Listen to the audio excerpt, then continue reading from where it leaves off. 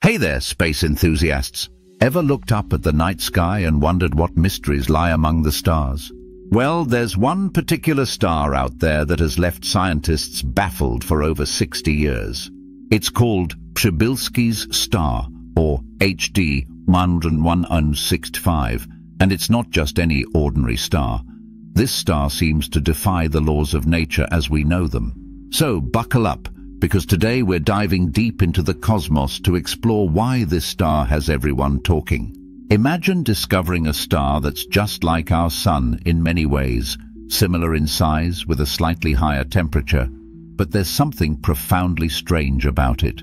When astronomers first started studying Przybylski's star in the 1960s, they found something in its atmosphere that shocked them.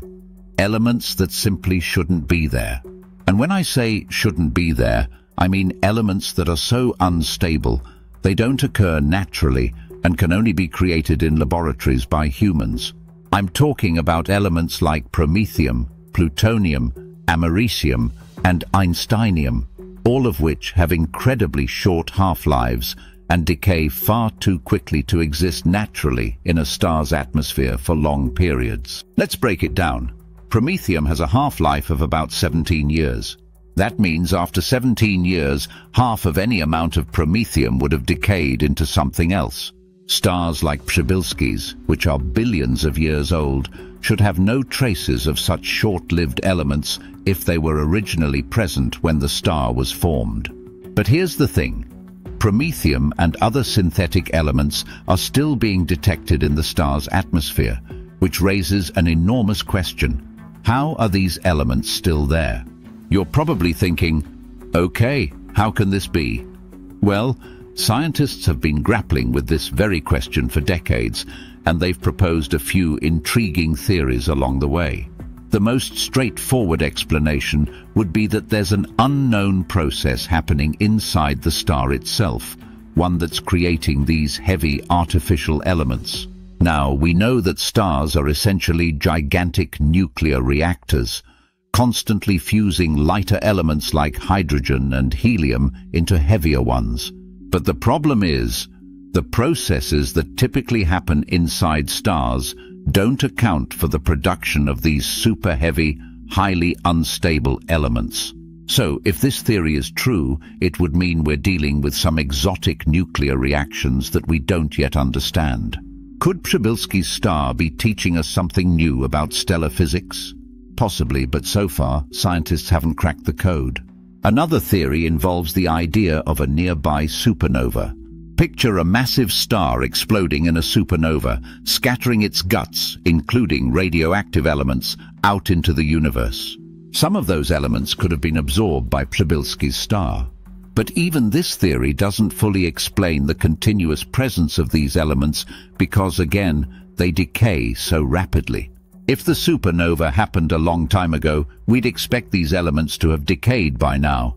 And here's where we get into the realm of speculation that's sure to excite any sci-fi fan.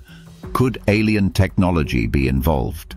I know it sounds far-fetched, but bear with me. Some scientists, including the legendary Carl Sagan, have speculated that advanced civilizations might leave behind signals or traces of their existence through radioactive waste or other methods. The idea is that an intelligent species could have left these elements in the star's atmosphere, either intentionally or as byproducts of their activities. While there's no solid evidence to back this up, it remains one of the more intriguing possibilities especially given how bizarre the situation is. Whatever the explanation, Przybylski's star is a genuine cosmic enigma. Even after decades of study, scientists are no closer to a definitive answer about how these strange elements are appearing in the star's atmosphere. It's not like any other star we've seen, and the presence of these synthetic short-lived elements suggests that there's something happening here that we don't fully understand. And that's what makes this star so fascinating.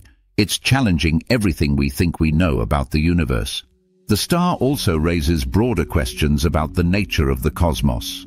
Are there other stars like Przybylski's out there, hiding similar secrets?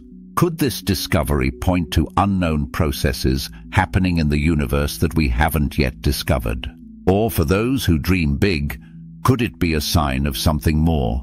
Perhaps evidence of advanced civilizations leaving their mark in ways we can't yet comprehend. In any case, Przybylski's star is a reminder that the universe is full of mysteries waiting to be unraveled. With each new discovery, we learn that there's so much more out there than we ever imagined. Whether the explanation lies in unknown physics, remnants of ancient supernovae, or something more extraordinary, this star continues to captivate the imagination of scientists and stargazers alike.